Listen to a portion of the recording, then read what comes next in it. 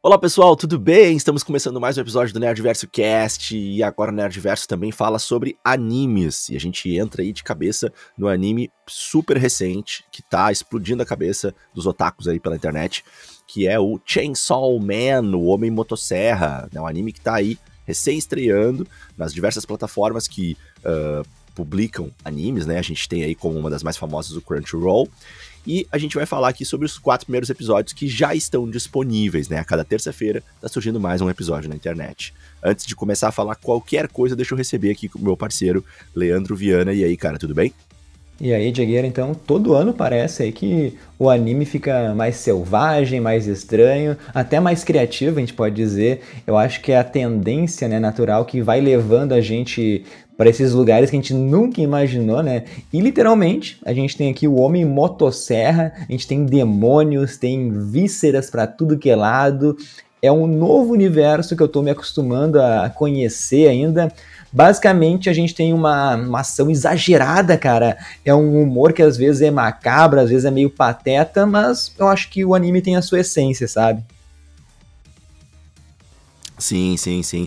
Já tocando nesse ponto aí, cara, eu, eu, eu acho que uh, existem muitos, muitos, muitos animes, né? Quando a gente começa a vasculhar ali o catálogo do Crunchyroll, do Anitube, ou mesmo vasculhar pela internet, assim, o que tem disponível em termos de animes ou mangás, é uma variedade gigantesca. E eu confesso que eu acho uh, que, que grande parte deles são muito parecidos uns com os outros, assim, com pouca criatividade e variação, mas mais recentemente tá surgindo umas coisas bem diferentes diferentes que eu tô achando muito legal, assim. Tem surgido uns animes na área dos esportes, assim, bem diferentões, como o Haikyuu, que é um anime que tá bem, assim, hypado com a galera, né? Que é um anime sobre vôlei, uma galera que joga vôlei. É muito irado, assim. Eu vi alguns episódios, não acompanhei a fundo, mas eu vejo que tem um, um grande público em cima do Haikyuu, né?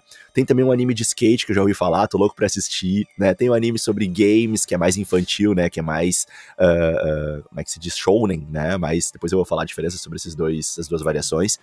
Uh, e a gente tem então o, o Chainsaw Man, que vem aí com esse nome e esse personagem, que por mais que tu nunca tenha visto nenhum episódio e não saiba a história, tu tem que concordar que é algo muito criativo, né? Um personagem que é o Homem Motosserra, e aí tem uma serra saindo da cabeça dele, assim, né? Com um sangue que quem vê, assim, só uh, a imagem não entende se esse sangue é do personagem, se esse sangue ele tirou de outros inimigos numa batalha. Fica uma dúvida muito gostosa que, te confesso, me, me deixou muito, assim, incentivado a querer assistir. Como é que foi pra ti, Leandro, assim, quando tu começou a ver o nome do episódio, o nome do, do, do anime e algumas primeiras imagens, tu achou que viriam alguma coisa boa? Qual foi tua primeira impressão?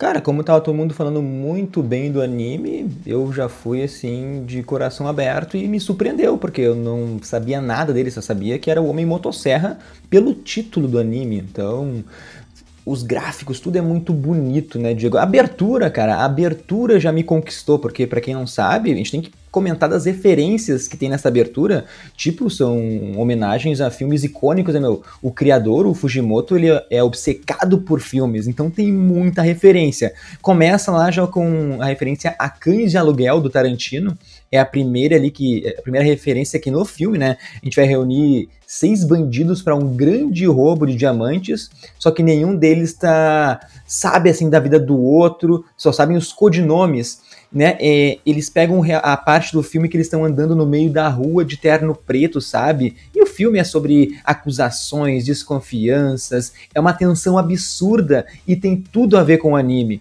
Depois, outra referência é o Massacre da Serra Elétrica, né? não preciso nem dizer porquê. Até na hora que aparece na abertura, a paleta de cores é idêntica ao do filme.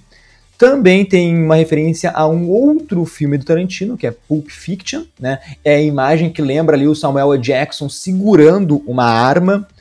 Tem também um clássico do cinema oriental, que é o Chamado versus o Grito. É a cena que lembra os dois personagens correndo um contra o outro e tal poço entre eles. Também tem referência ao filme Os Fracos Não Têm Vez, né? Que é quando o personagem, que não lembro o nome, do Javier Bardem, ele tá sentado na cama tirando os seus sapatos. Também tem uma homenagem ao filme recente, que era é, O Era Uma Vez em Hollywood. Pega a imagem do Leonardo DiCaprio e do Brad Pitt, dos dois de costas dentro do carro. Tem o ataque do, dos tomates assassinos, uh, que é quando eles estão assim naquela sala e tem um personagem em cima da, em cima da mesa, literalmente de quatro. Eles pegaram essa cena para homenagear na abertura. Uh, também o filme Não Olhe para Cima, Não Olhe para Cima, filme recente do ano passado da Netflix aí que dividiu opiniões. Também tem a sua homenagem aqui. O filme é uma crítica aí ao negacionismo tem um filme, o Jacob Slater, que é um remake do filme Alucinações do Passado, onde tem o, garo o garotinho sentado no pé da escada. Constantine, Diego, também aí tem uma homenagem com o nosso maravilhoso Ken Reeves, né? Uh, filme, aliás, que vai ganhar continuação e eu tô mega, mega animado. O Grande Lebowski é outro filme. Pegaram a imagem que eles estão no boliche, eles estão usando aquele, aquela sacola, aquele pano, meio para polir a bola de boliche. Tem homenagem para Marvel também, né? Pro pôster de Thor, Amor e Trovão, que é quando apresenta a Power, eles pegaram meio que a paleta, a paleta de cores do pôster também do filme. Tem homenagem ao Clube da Luta, mais um filme com Brad Pitt aí.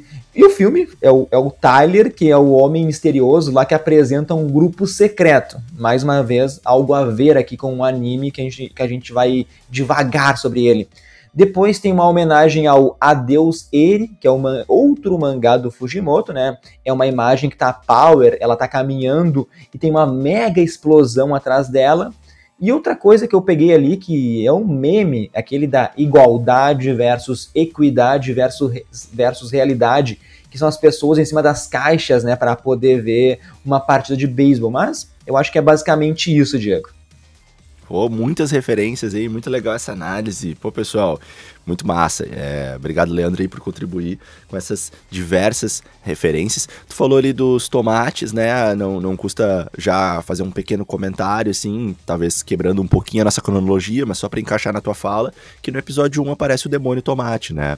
Que é o primeiro demônio ali que é uh, uh, mostrado e, e derrotado pelo personagem aí recém-apresentado no episódio 1, o Denji, o nosso personagem principal.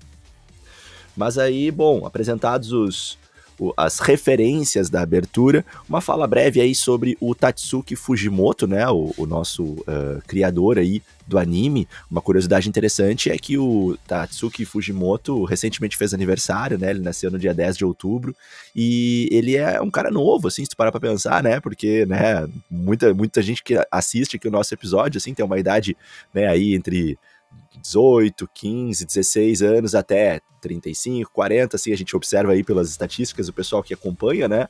Depois, se vocês quiserem se identificar aí, falar pra gente qual é a sua idade, pra gente saber quem é que tá interagindo com a gente. E eu imaginava que ele teria mais um pouco a nossa idade aí, Leandro, aí já chegando um pouquinho mais perto dos 40 anos. Mas não sei se tu sabe, mas o Tatsuki recém aí aniversariou e completou 29 anos. É um cara aí relativamente novo, né? E já com um conquistado sucesso aí Uh, mérito do seu talento. Ele se formou em pintura ocidental né? E já na, na, escola secundária fazia desenhos que chamavam atenção, né? Pela criatividade e pela beleza do traço. Foi convidado a escrever para revista Jump Shonen, né? Uma revista que publicava no Japão é, obras relacionadas ao mangá.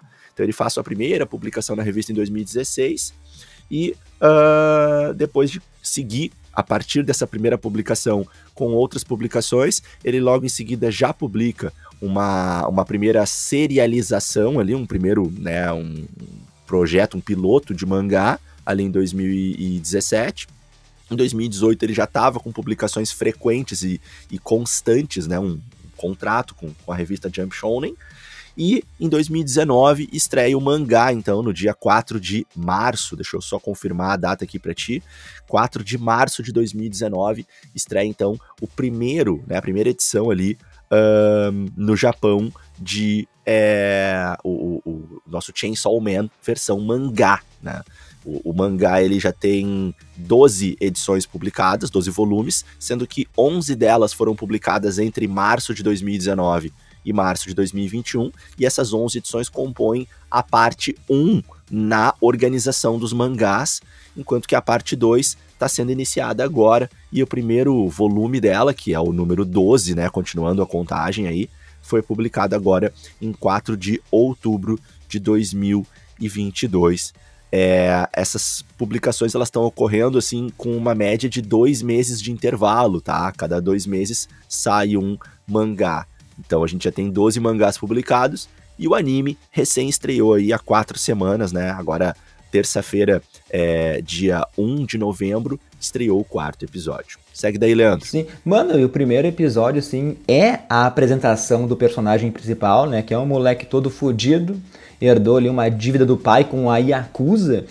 Não sei vocês, mas eu fiquei curioso porque os valores estão tudo em ienes, que é a moeda japonesa, e daí diz que ele vendeu lá o olho, acho, ou foi o rim, por 300 mil ienes. E fazendo a conversão para real, que eu fiquei curioso, né, seria em torno, então, 300 mil ienes é 10.500 reais. E o Denji, então, ele vai trabalhar como caçador de demônios sem licença, né? Um trabalho informal aí para tentar levantar uma grana. Cara, eu achei já muito engraçado que ele começa falando que já vendeu algumas partes do corpo, que é um rim, um olho e uma das bolas, Diego. Daí quero saber de ti, né? Qual desses tu venderia primeiro, cara? Nossa, cara, que assustador que foi essa parte, né? Ele fala com uma naturalidade sobre isso. Eu fiquei pensando sobre isso e sobre até, tipo, nossa, nem sabia que era possível, né? Tu se desfazer de algumas possibilidades como essas, né? Que ele fala, né? Uh, com certeza um testículo estaria bem no final da minha lista, né? Seria aí já muito próximo de, de tirar a vida, porque, né, imagino a dor e também as perdas, enfim, não sei, uh, pode ser uma coisa boba aí, né, mas me parece ser o mais doloroso. Mas eram mais baratinho, né, Diego? Eram mais baratinho Pois é, também. pois é, até por isso que eu acho que não vale a pena. É, e, e, e o, o o rim ali me parece ser o mais uh, fácil de estar em primeiro na lista, né? Não que eu queira perder um rim, muito pelo contrário, né? Vou lutar até o final da minha vida para ficar sobreviver com os dois, mas, né? Seria acho que o primeiro da minha lista, Leandro. Meu, eu acho que é muito fácil a gente se identificar com o Denji. E, cara, é, é simples. Uh, ele vive basicamente sem saber se vai comer no próximo dia. O cara nunca comeu ali um pão com geleia, Diego. Tipo assim, é, é um grande sonho dele. O Denji, ele é totalmente maturo. Mas, cara, isso é devido também, talvez, à situação que ele perdeu o pai, a família, ainda muito novinho. E eu achei assim, ó, linda a conexão que ele tem com o cachorro demônio, o Pochita lá. Muito legal a troca de favores, né? Ele deixa o demônio se alimentar do sangue em troca, então, que o Pochita uh, ajude ele a enfrentar, a caçar outros demônios. Então, esse vínculo, essa química, eu acho que foi o coração do primeiro episódio e foi aqui onde me conquistou, sabe? Boa, boa, perfeito. Eu adorei Uh, primeiro lugar, a caracterização do Denji, achei ela bem uh, criativa dentro do que a gente tá falando, né, Leandro? Que esse é um anime que realmente tá vindo com, com algumas inovações bem legais, assim. Tem algumas coisas que a gente vai comentar que são uh, um pouco repetitivas, talvez sejam ingredientes, assim, que, que fazem muito sucesso e que o, os japoneses acreditam que são essenciais, mas tá com umas, uma, umas novidades muito legais, assim, e uma delas eu achei que foi essa caracterização do Denji acho que foi muito profunda, muito legal, assim, essa forma como ele foi caracterizado, né? Extrema miséria, é, é, não, não conhece coisas básicas, assim, sabe? Que, que qualquer ser humano praticamente deveria conhecer, mas ele não teve isso na sua criação, muito pela pobreza e, e, miséria na qual ele viveu a vida toda, mas também muito pelo que tu trouxe do precoce abandono dos pais, né? Perda dos pais, né? Então acabou que ele é uma pessoa extremamente pobre, excluída da sociedade e sem uma educação, uma criação, quem ele desse, né? Algum tipo de educação, tanto escola quanto algum adulto ensinando as coisas. Então ele tem o essencial para sobreviver, né? Que é ali basicamente saber contar dinheiro, né? Saber que ele tem que sair para comer e acaba sucumbindo aí a explorações, né? Uh, onde muito provavelmente ele recebe valores muito menores por serviços que até poderia receber mais, mas dada sua ignorância e inocência, ele é facilmente enrolado. Sobre ali a questão dele com o Pochita, achei muito legal, gosto dessa visão, acho que essa é uma visão madura madura, né? Onde tu não coloca simplesmente o bem contra o mal, sabe? Humanos são o bem, demônios são o mal. Não, a gente tem uma profundidade maior, algo mais maduro, sabe? Então, tipo assim, ok, os demônios são caçados pelos humanos, essa é a, a, a, principal tônica do anime, mas os, os, demônios também são aprofundados, né? Eles têm ali motivos, razões de viver, são seres, são seres que podem é, fazer relações de amizade, são seres que podem ter uh, algum tipo de empatia, podem ser cativantes, a gente pode gostar deles, e é o que acontece nessa amizade dos dois, e faz muito sentido. Ele fala: Pochita é o meu único amigo, é o único amigo que ele teve a vida toda, né? Sim, sim, certíssimo. E o estúdio, Diego, que produz o anime é o Mapa Studios. Eu tenho uma baita reputação. Eles fazem, por exemplo, aí o Jujutsu Kaisen, o Ataque de Titãs. Então, eles se preocupam com os detalhes, os traços, até o som, cara, tá tudo impressionante. Ainda mais no final, né, que é um banho de sangue.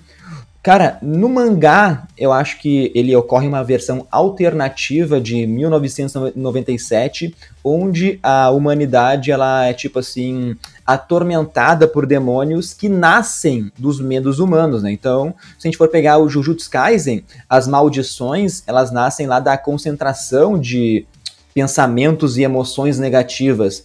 Então, em Chainsaw Man, cara, se tu tem medo de tomate, como tu falou, vai existir o demônio do tomate. Se alguém tem medo de zumbis, vai existir o demônio do final lá, né? E só então, como eu sou uma pessoa curiosa, cara, eu fui pesquisar, né? E eu descobri que lachanafobia é quem tem medo de vegetais e kinermotofobia é quem tem medo de zumbis, né? Então toda vez que surgir um demônio aqui, eu vou dar uma pesquisadinha e trazer para vocês, tá?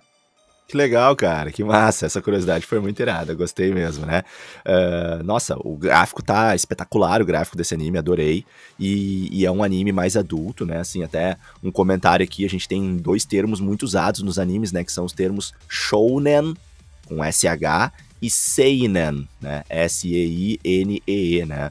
E shounen é um termo que a gente aplica a um anime que ele pode ser oferecido para uma classificação mais baixa, né? Um anime que ele pode ser oferecido para crianças, que ele vai ter mais humor, mais brincadeiras, vai ter menos exposição a sangue, a palavrões e também a sexualidade.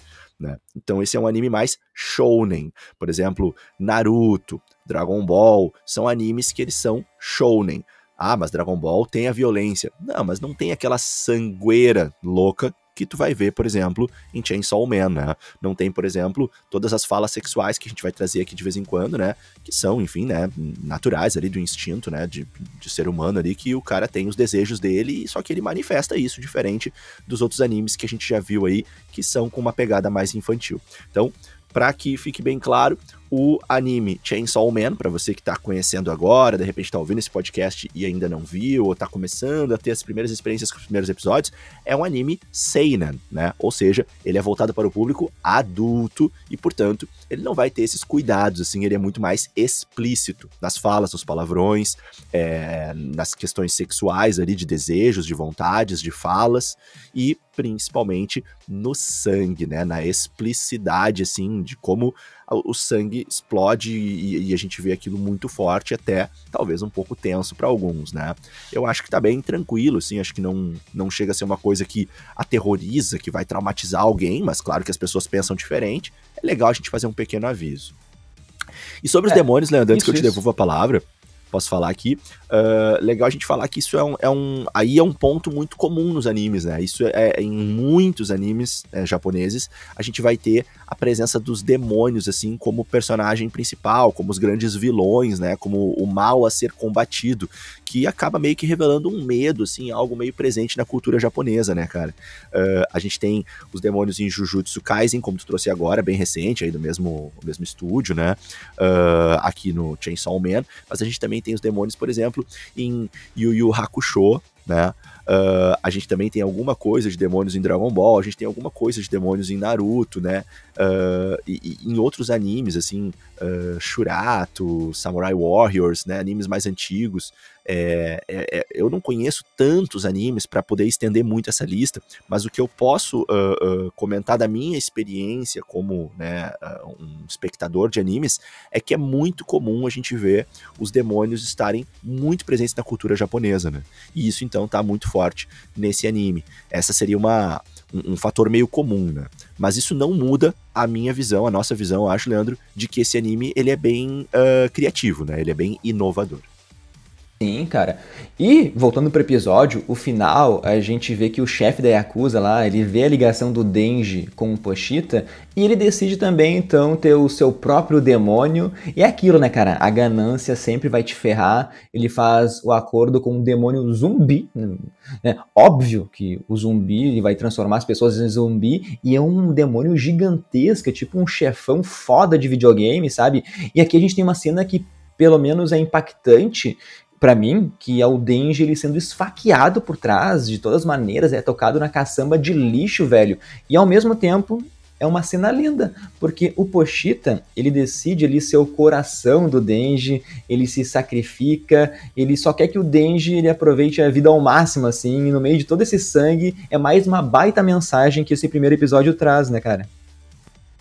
É isso aí, é muito bonito esse momento. A gente tem aí a volta, né? Porque quando eles se conhecem, o Denji é que salva o Pochita, né? O Pochita tá perdendo muito sangue, tá quase morrendo, e o Denji fala para ele: Eu te ofereço o meu sangue para tu se recuperar, né? Algo bem assim, incomum, porque ninguém faria isso por um demônio.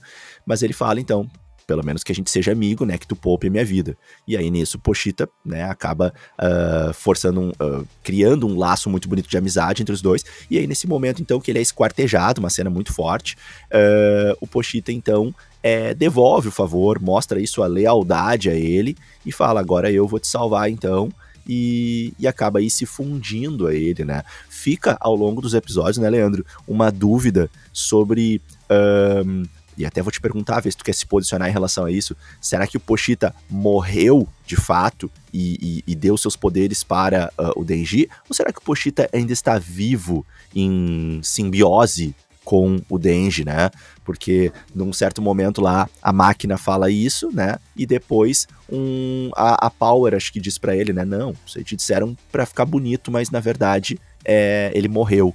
E aí, o que que tu acredita, Leandro? Que Pochita se sacrificou e realmente está morto, ou Pochita está, de certa forma, vivo dentro do. Né, com alguma consciência, né, agindo lá dentro do, do, do Denji? O que, que tu acha? Cara, eu acredito na mensagem mais bonita, que ele tá lá dentro, assim, sentindo tudo e vivenciando o que o Denji tá fazendo lá e curtindo todas essas descobertas do novo mundo, ele podendo provar geleia pela primeira vez.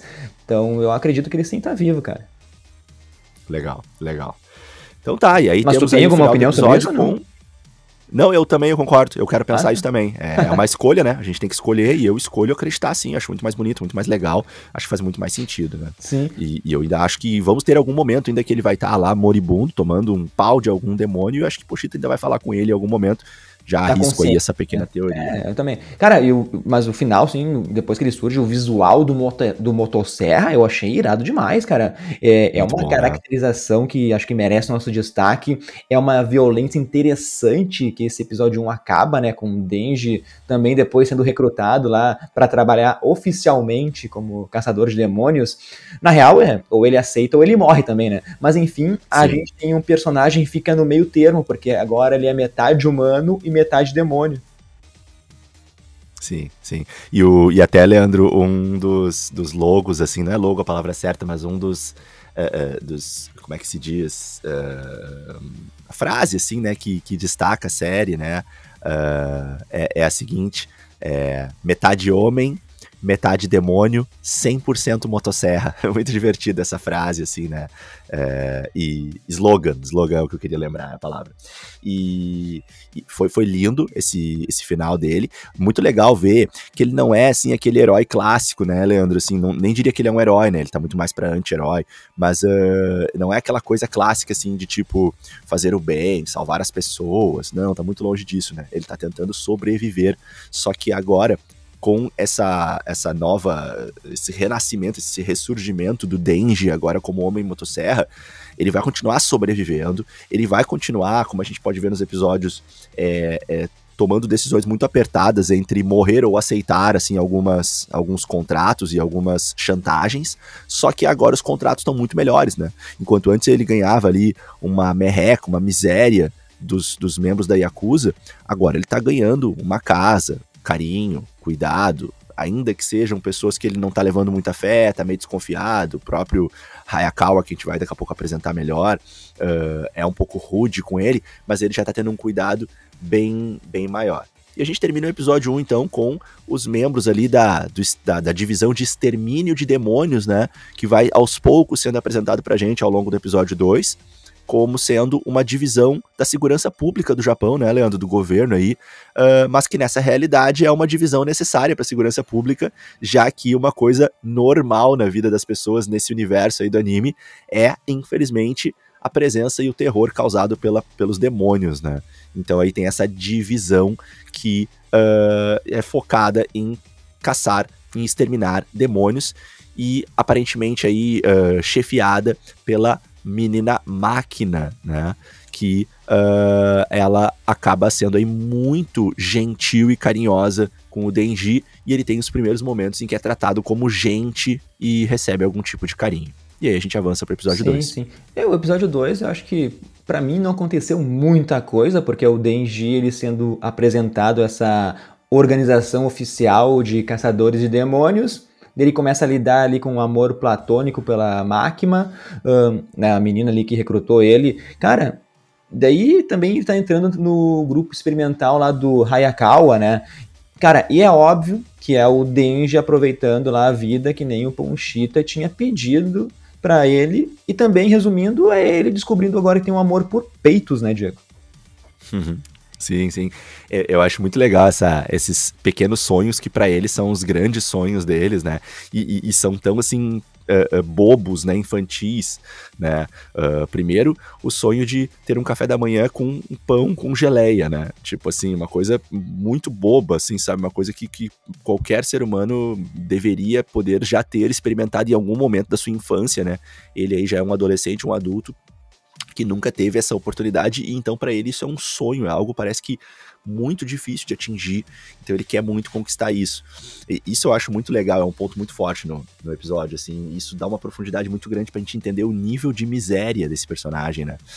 E aí depois a gente tem essa questão do adolescente que não teve uma adolescência, né? Que não teve namoradas, que não sabe o que, que é isso, né? Ele só tem o desejo, o instinto, né? A curiosidade, mas nada disso foi sanado, nada disso foi, é, é, foi dado vazão. Então ele tem esse, esse, esse sonho, assim, que ele vai comentar depois, né? Que, pô, é o meu sonho, mas todo mundo fala, né? Que sonho bobo, que sonho infantil. Mas se tu entende ali a história dele, de onde ele veio, isso é, é explicável, é compreensível, apesar de ainda assustador.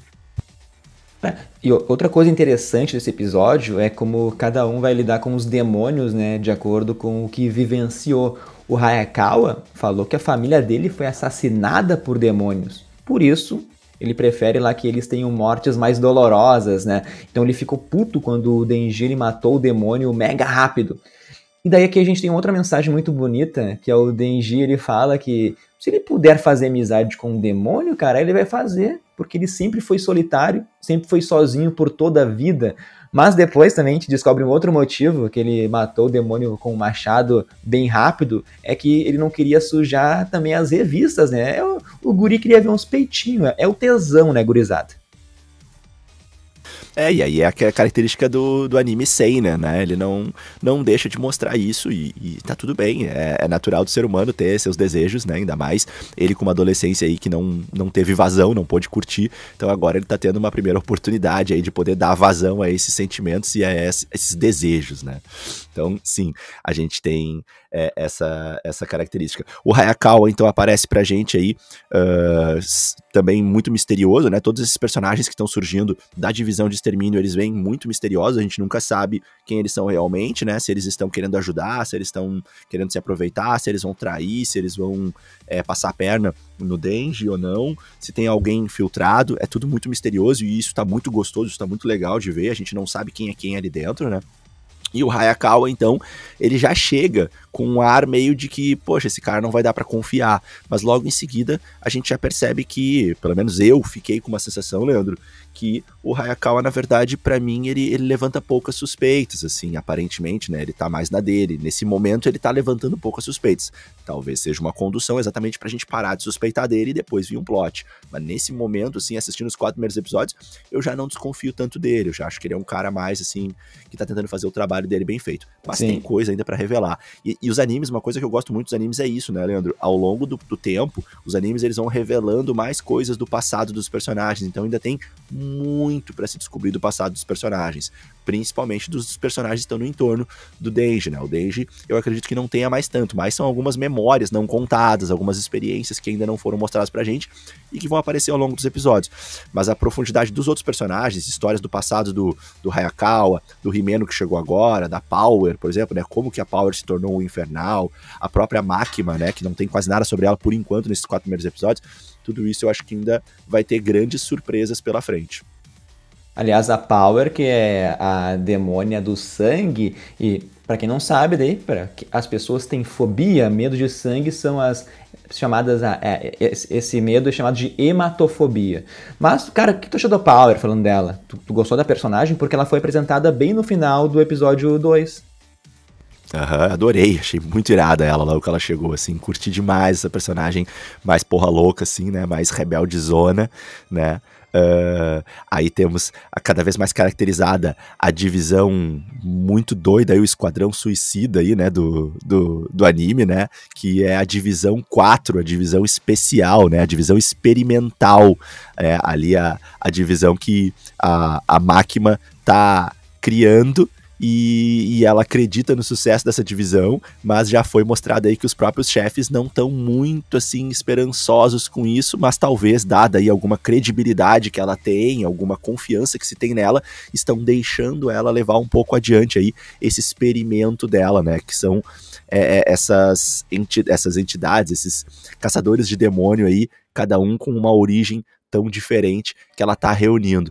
E para mim a Power aí entrou bem demais, adorei ela, acho que ela uh, entrou super bem, assim, bem louca, né? Uh, primeiro ela diz para ele que ela afasta os outros demônios porque ela é um demônio muito perigoso, eles têm medo dela, sente o cheiro dela.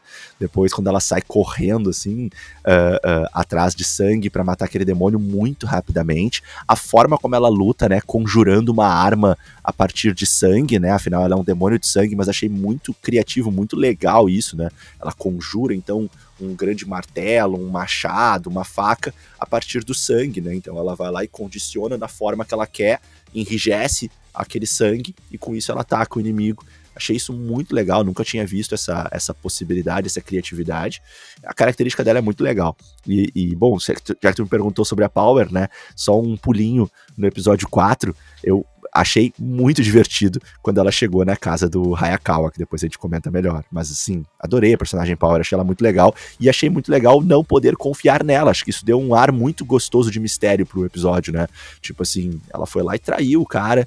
Né? E aí tu não sabe mais se tu pode confiar ou não. Tipo, poxa, ela é da divisão, ela é colega do cara, mas ela traiu ela e agora ela trabalha ainda pros demônios ou não? Ou ela só tá trabalhando para si mesma e agora ela, a partir de agora ela vai ser confiável, ou ela vai voltar a trair. Ficou muito legal isso, adorei.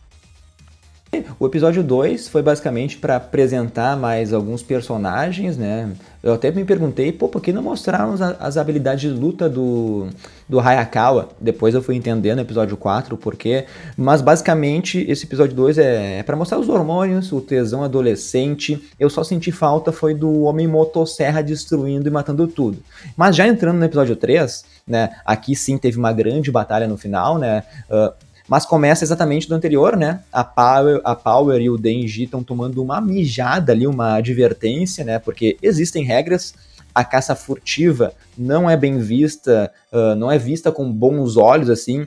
Aliás, cara, como já comentou, naquela reunião da máquina com os superiores, me mostrou que os caçadores de demônio eles são altamente conhecidos porque eles falaram em assuntos americanos, depois meio que comentaram algo sobre os soviéticos, e daí eu gosto como do, quando começa a expandir, né? Porque esse recrutamento do Denji da Power, como tu comentou, é um grande experimento e eles querem saber do resultado, né? E vai saber qual é o objetivo para expandir isso. E daí aqui, meu, tu me perguntou sobre alguém suspeito antes. Para mim, né, se eu for bolar aqui meus planos da conspiração, minhas teorias, eu acho que a máquina ela é a pessoa mais suspeita aqui e eu não iria me surpreender assim se ela se mostrasse uma vilã até o futuro do final do anime, sabe? Sim, sim, sim, boa. Tô, tô fechadaço contigo. Para mim o desenho, o desenho mais a, a linha mais básica para mim, Leandro, de teoria pro, pro futuro do anime é a máquina Uh, se revela cada vez mais querida e gentil com o Denji. O Denji se apaixona por ela, mas o Denji vai fazer uma amizade que vai começar a ganhar força com a, a, a, a Infernal lá, como é que é o nome? Esqueci agora. Power a Power. Então eu acho que o Denji e a Power vão começar a ganhar mais parceria, mais amizade os dois, né? Vão um proteger o outro. E o Denji vai ficar cada vez mais apaixonado pela máquina. E eu acho que em algum momento a máquina então vai fazer o plot ali e vai mostrar, vai revelar seus verdadeiros planos e por que, que ela tá conduzindo essa, esse grupo especial. Vai tentar algum tipo de golpe, alguma reviravolta, algum é, é, contrato, algum uh, uh, pacto com algum demônio grande ao qual ela serve, ao qual ela quer poder, alguma coisa assim. Vai se revelar uma infernal, algo assim. E aí eu acho que nesse momento a, a coisa vai virar no sentido também amoroso, uh, com o Denji se, se decepcionando e percebendo, na verdade, que o amor dele tava o tempo todo do lado dele e era a Power, né? E aí até um amor mais, talvez, mais puro, já que é demônio com demônio e tal, e, e os dois estão mais próximos um do outro. Então eu, eu vou apostar, sim, numa, nessa linha. Mas é muito cedo ainda, né, pra fazer apostas. Eu, eu não gosto de ficar em cima do muro, eu faço as minhas apostas aqui. Seria uma linha, assim, que faz um pouco de sentido para mim agora. Mas tem muita coisa para se revelar ainda. Sim, sim. Cara, e o episódio 3, ele continua com a taradeza do Denji por peitos, porque ele vai do guri, que não tá nem aí lá pro gato da Power, pro maior fã de felinos, né? Tudo por uns peitinhos. Mas eu acho que dá para fazer um paralelo entre os dois. Eu achei bem parecido que ambos eles lutaram sozinhos para sobreviver. Uh, os dois se viram em algum momento cuidando de um animal, né? Tá, o Potito é um demônio, mas eu considero um cachorrinho ele. Cara, e é impossível tu não te apegar a um bichinho. E nesse caso seria do time Denji, tá, Diego? Porque eu prefiro o cachorro, mas é porque eu tenho também uma rinite fodida, que eu chego a passar mal se tem um gato e ele fica só me olhando do meu lado, sabe? entendi, entendi. Eu adoro gatos. Eu tenho gatos aqui em casa, tenho três gatos aqui, eles dormem comigo, ainda mais no inverno, assim, nos, nos, dias frios, assim. A gente se aquece todo mundo junto na cama. Mas eu gosto muito de cachorro também. Eu sou mais do time gato, mas eu gosto dos dois e tenho os dois uh, animaizinhos. Uh, sobre o que tu falou ali da identificação dos dois, esse é mais um ponto que eu acho bem comum nos animes, Leandro. Eu acho que isso é bem presente em diferentes animes no Japão, que é essa identificação dos personagens. Os personagens, eles têm histórias de origens diferentes, mas eles sempre encontram pontos comuns e, e, e exageram isso, assim, falam assim, nossa, nós somos muito parecidos. E aí eles vão lá e pegam essa parte comum aos personagens, que às vezes eu acho até pequena, assim, os personagens são muito diferentes às vezes, mas claro, eles têm algo em comum, como todos os seres humanos sempre vão ter algo em comum, né? E aí eles pegam isso e transformam isso numa grande identificação. Quem acompanhou Naruto, que é um grande nome dos animes, né, uh, viu muito isso, né? Inclusive era uma, uma, uma, tônica muito forte do personagem, que sempre se identificava, inclusive se identificava muito com seus inimigos, né? E até às vezes convencia uh, os inimigos de encerrar a batalha depois de muita briga, mas sem morte, assim, terminar a batalha numa parceria, num, num, num contrato de amizade amizade. Uh, no Yu Yu Hakusho a gente tem um pouco disso, no Dragon Ball também tem o Goku se identificando um pouco com os outros personagens, mais com o grupo dele, mas também às vezes com alguns inimigos. Então, essa característica é bem presente na minha visão nos animes, sabe? Dos personagens sempre ter esse diálogo profundo de identificação, de buscar algo em comum, e, e é muito comum a gente ter essas expressões assim: nós somos iguais, nós somos muito parecidos, é, nós tivemos o mesmo passado, o, o, que na verdade, se tu olhar mais de longe, não é verdade, assim, eles são, são diferentes, mas eles encontram isso e isso eu acho legal de destacar, eu acho bonito isso, eu acho legal. Antes que eu te devolva a palavra, só mais um comentário rápido sobre características geral de animes, já que esse é o nosso primeiro anime, né? Então a gente tá trazendo um pouco mais essas características gerais. É falar uma coisa para quem tá começando agora com animes, ou já assiste há bastante tempo, mas nunca levou isso em consideração. Vamos lembrar que o berço dos animes é o Japão, os japoneses são os grandes criadores, a grande indústria de animes no mundo, não que sejam os únicos, mas é de lá que vêm os melhores, eles são os caras nesse sentido. E o Japão é uma ilha isolada, isso dá para os japoneses assim um medo de tudo que vem ao redor, principalmente do que vem da água, mas dá a eles essa criatividade de imaginar diversas formas de serem atacados por bichos, seres ou coisas, né? Por eles estarem sozinhos numa ilha e também na, no estereótipo, no, no, fenótipo, assim, a característica dos seres humanos japoneses, né? A grande maioria dos japoneses tem o cabelo preto e o olho preto. Eles não têm uma grande variação de cores, tipos de cabelo e cores de olhos, né, Leandro? E além do olho ser pequenininho. E aí os japoneses, eles encontraram então no desenho uma forma de compensar talvez essa uh, pouca variedade que se tem naturalmente nos seus cabelos e olhos, e por isso eles exageram para poder encontrar aí nessa representação de avatares, né, nos seus desenhos, eles exageram nas cores, tipos de cabelos, cores de olhos, tipos de olhos, então olhos com desenhos diferentes no olho, olhos bicolores, olhos que mudam, cabelos que mudam de cor, e aí não precisa ir muito longe, né? Dragon Ball Z, por exemplo, pra gente aí, né? Uh, no Naruto a gente tem muito a mudança do olho mostrando o poder do personagem. Então, isso é uma característica muito comum nos animes. E para quem não sabe, é uma forma deles colocarem um pouco mais de cor uh, na, na, sua vida. Não que a vida deles não tenha cor, claro que tem, mas se a gente para pra pensar assim no, no fenótipo, né? Assim, na, na característica mais uh, uh, visual de seus corpos, é que normalmente não se tem muito variação de cabelo, né? No Japão, então eles trazem isso, assim, bastante pro, pro, pro, desenho, e é muito legal de ver isso. Então a gente vai ver muito isso. Vocês já devem estar tá vendo ali os olhos dos personagens diferentes, e acredito que isso possa ter explicações mais para frente, que os tipos de olhos ali vão estar relacionados a qual interação que o personagem tem com algum demônio, né? Pode ver que o olho da máquina é diferente, pode ver que o olho da, uh, uh, da Power é diferente, né? A única coisa para mim que é um pouco mais diferentona e que não, não vejo conexão com o que eu falei são os dentes serrilhados, né? Que a gente tem tanto do Denji quanto da Power. Talvez tenha explicação para isso, talvez não, mas eu torço para que tenha alguma justificativa, alguma explicação.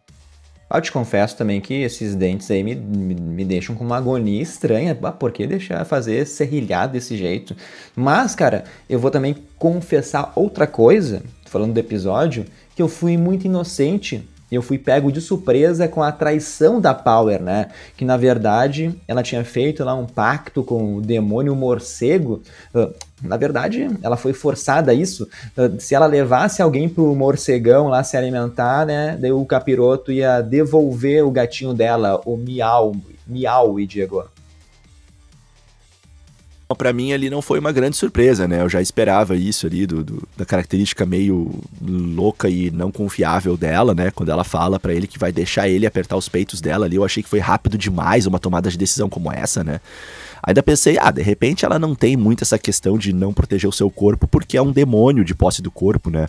Mas um ser humano normal não deixaria assim, então simplesmente a pessoa ficar apertando os seus peitos assim, de uma maneira tão rápida, uma pessoa que tu nem conhece. Então, ali para mim ficou um pouco estranho e aí eu comecei a pensar que, que talvez rolasse algum tipo de traição. Quando ela ataca ele, no momento que ela se volta contra ele e derruba ele ali, para mim, na hora ali já, já clicou que seria alguma oferenda, né? Um oferecimento, né? Ao demônio, porque isso é muito comum nessas culturas de pacto com o demônio, né? Tu tem que fazer um, um, uma oferenda, um sacrifício, né?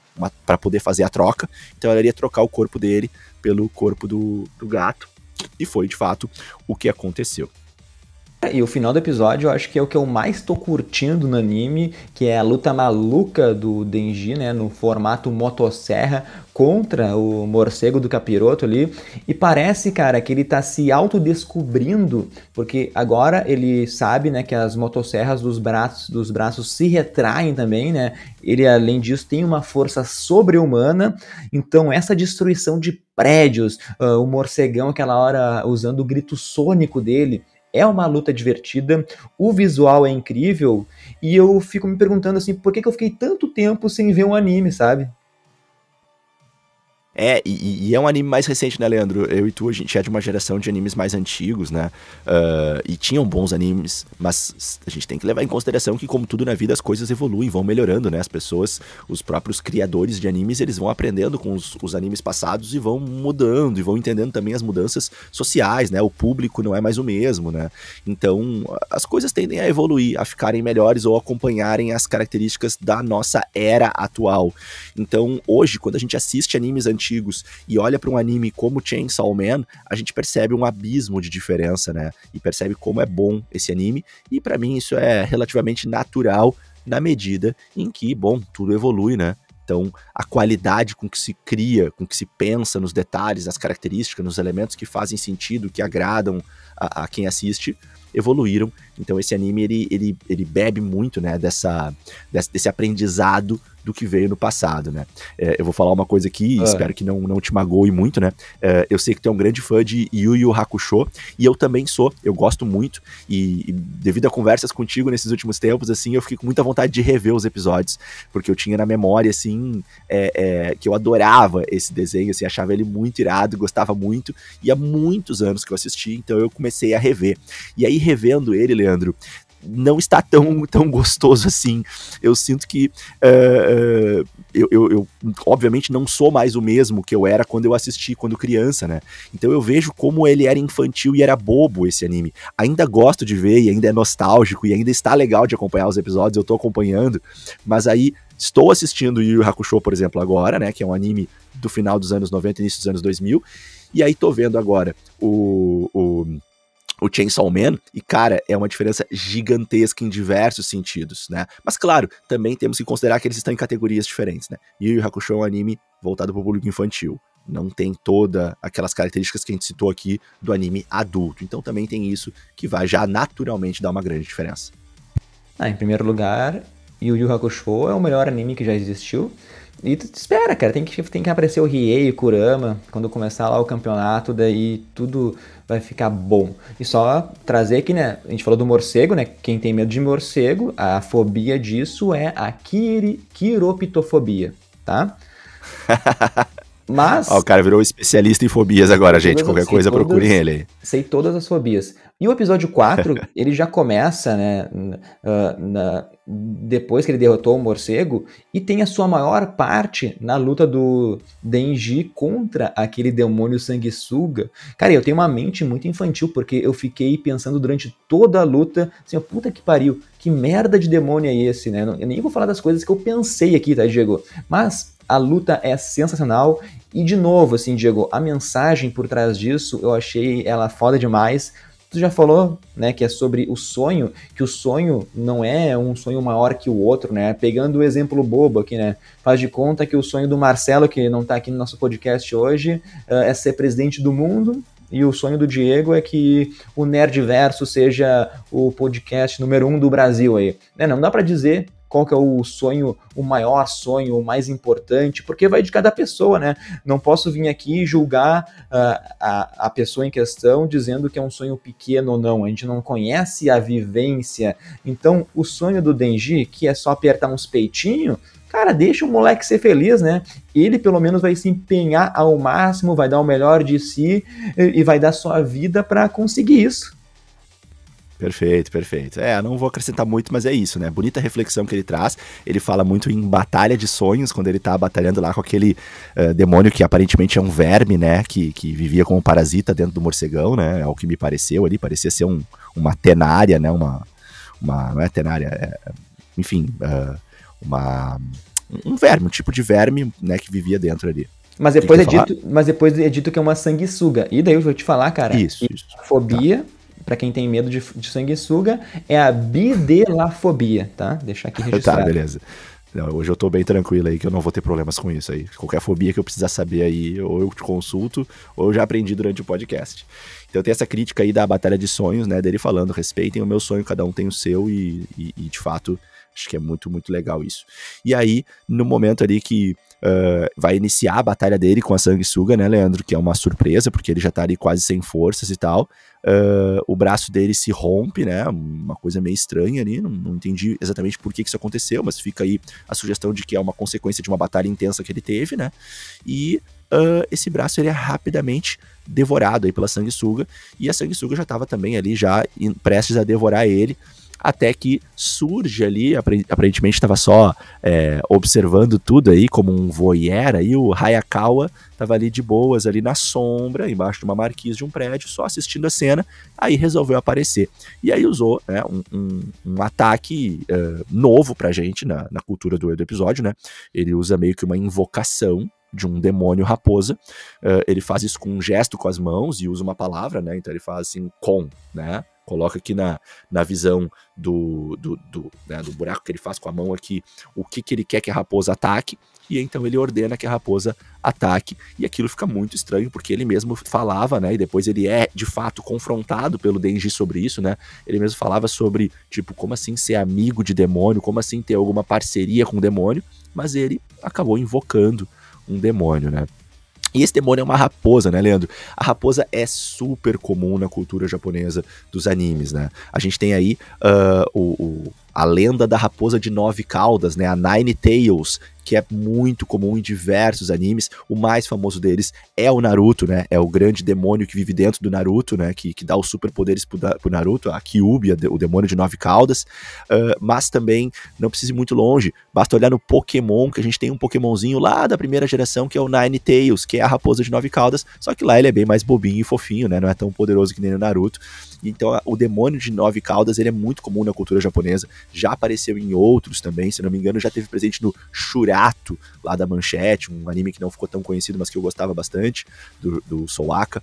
Uh, e então, o, o, o demônio da raposa aparece ali, e aí eu acho legal trazer essas referências que eu trouxe agora. E logo em seguida a gente vai ter aí essa discussão dos dois mais pra frente, né? Com o Denji confrontando ele. Peraí, tu não disse que a gente não pode ter amizade, que tu não concorda com amizade com o demônio? E o Denji vai explicar então o que aconteceu. Até fui dar uma pesquisada aqui, não achei o, a fobia de raposa, Diego, mas eu sei que a zoofobia é quem tem medo de animais, então vou deixar aqui é, abranger todos os animais. E eu entendi também porque utilizaram o poder do Hayakawa, porque não utilizaram o poder do Hayakawa lá no episódio 2 e só utilizaram agora. O cara tem a mega raposa gigante, né, meu? É um demônio, como tu falou, fez um acordo, né, que sempre que ele pedir ajuda, a raposinha vai vir, vai se alimentar do próprio corpo, de algum pedaço do corpo do Hayakawa, né? Ali em questão foi a pele, foi um pedaço do braço, né? E de novo, eu tá mostrando que Hayakawa é um personagem legal, né? ele mentiu para a máquina, né? Ele permitiu dar mais uma chance para Power e para o Denji. Então, esse episódio tirou totalmente uma desconfiança e ele está se mostrando um baita personagem, né? Mesmo que o Denji ele seja um crianção, um ignorante, né? Mas pelo menos o Hayakawa tá vendo que ele é determinado, Diego. Boa, boa. É, e aí agora a gente tem o final aí do episódio, né, Leandro? Com o, o, o Denji uh, acordando na casa do Hayakawa, né? Achei bem legal essa construção dessa cena, né, cara? O Hayakawa acordando ali, aquela coisa meio devagar, num dia que aparentemente não parece ser um dia de trabalho, ou ele acordou bem cedo com tranquilidade. Aí ele vai lá, moe o seu café, né? Chega a dar uma vontade de tomar o café. Aí vira, né? Uns gráficos bem bonitos ali. Aí faz o café, levanta aquela fumacinha, né? Aí ele vai lá com o seu roupão, senta na, na sacada, cruza a perna, abre o seu jornal para ler, tomando seu café, prepara o seu cigarrinho para fumar que cena bem construída, adorei essa cena, né? E o Denji vai acordando, né? Não tá muito acostumado com ter uma casa para arrumar e para cuidar, então o Denji ali já vai mais direto pro que mais interessa a ele, que é comer, né? Que é a maior preocupação que ele teve a vida toda, né? E vai então pro café da manhã. O Hayakawa segue fazendo ali as tarefas do lar, vai limpando, vai fazendo a comida e de repente ali bate a porta enlouquecidamente até que quebra a porta. A gente pensa que vai ser atacado por um demônio e, bom, de certa forma, eles são atacados por um demônio, né? Só que é mais uma vez aí a Power invadindo e a máquina mostrada logo em seguida ali, mas aí num pequeno retrocesso ali, num pequeno uh, remember, que uh, alguns minutos antes ali ela teria ligado pro Hayakawa avisando que ela teria mandado a Ou, ou, de repente foi logo depois, enfim, mas avisando que ela uh, mandou a Power morar com ele, né? O que, que tu acha aí, Leandro? Uh, como é que tá a situação do, do Hayakawa aí? Tudo tranquilo para ele, que morava sozinho e agora tá com dois loucão morando na casa dele? Ah, literalmente é um inferno na vida do maluco, né? O cara acostumado a ter a sua, sua comidinha ali bem feita, casa arrumadinha. A maluca da, da Power não gostou da comida, já tocou na parede. Isso até irritou o Denji, né? O Denji, comida é, é, é, um, é um deus para ele. Pô, mexeu na comida, tocou fora. Que isso? Que maluquice é essa? Mas a, o episódio acaba que é daí pra loucura dos adolescentes. A Power diz que o Denji pode ali dar uma três apertadinhas, Diego, nos peitos dela. Uh, então o episódio acaba com o Denji, né, falando que a Power é um anjo, engraçado, porque a gente sabe que ela é totalmente o oposto disso. Mas eu quero saber, velho, de ti. Tu acha que o Denji ele vai ser afobadão ali? Ele vai dar, vai apertar os peitos da Power essas três vezes no banheiro? Ou tu acha que ele vai dar uma calibrada e ao decorrer dessa primeira temporada ele vai apertar os pouquinhos, cara?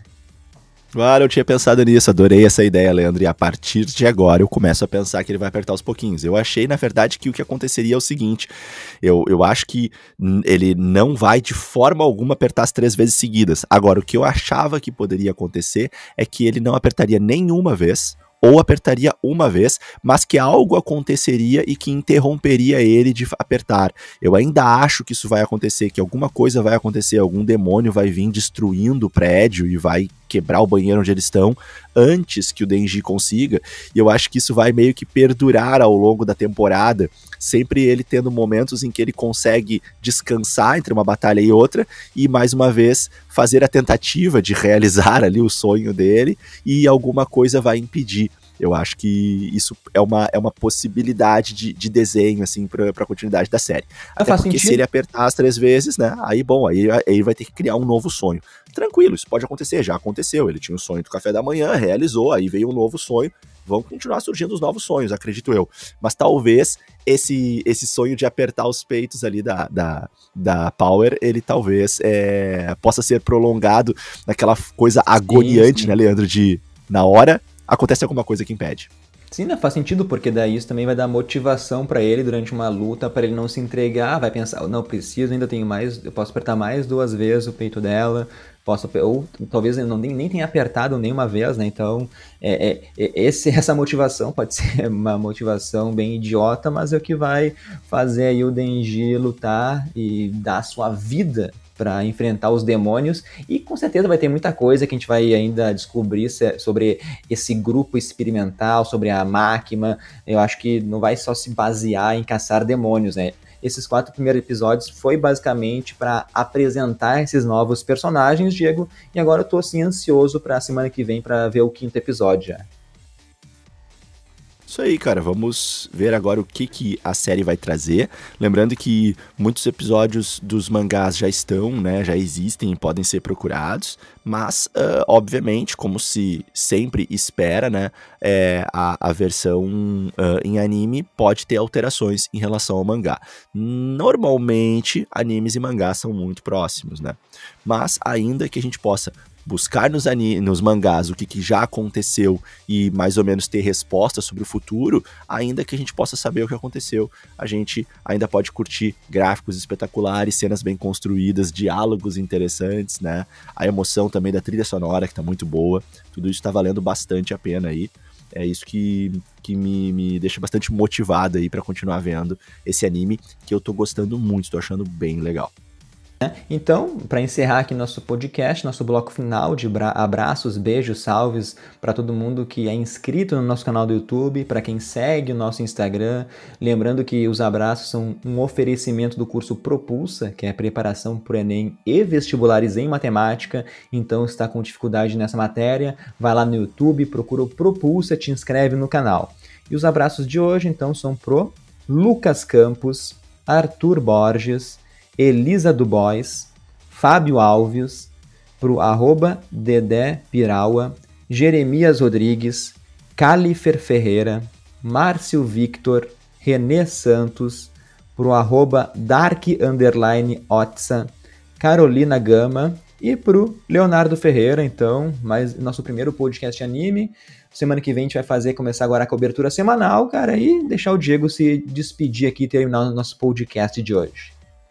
Maravilha, Leandro. Obrigado pela tua companhia mais uma vez. Obrigado por todos que nos ouviram. Eu tô muito feliz em poder agora começar esse novo projeto aí, também falar de animes, coisa que fez parte da minha infância, da infância do Leandro, da infância do Marcelo, e a gente tá retomando então esse contato com a nossa infância, mas pegando aí produções também bem recentes, com toda a qualidade, a evolução aí dos diretores, criadores, dos estúdios, dos gráficos e tudo mais. Então, muito legal, tô muito feliz. Otakus, sejam bem-vindos. Aceitamos com certeza, como sempre, a sugestão sugestões de vocês. Então, se quiserem sugerir é, animes ou que já estão existindo há bastante tempo, para de repente entrar nas nossas sessões retrô, em análises, em episódios especiais, ou animes mais recentes que estão realmente surgindo e que valem aí análises nossas, sejam análises únicas ou semanais, contribuam com a gente, a gente faz o Nerdverso para vocês. Lembrar também, né, assim como teve aqui o nosso patrocínio do Propulsa, que nós ainda temos espaços abertos no nosso podcast, no nosso YouTube, para divulgação. Então, se você tem uma marca, um produto que acha que faz sentido divulgar aqui no nosso veículo,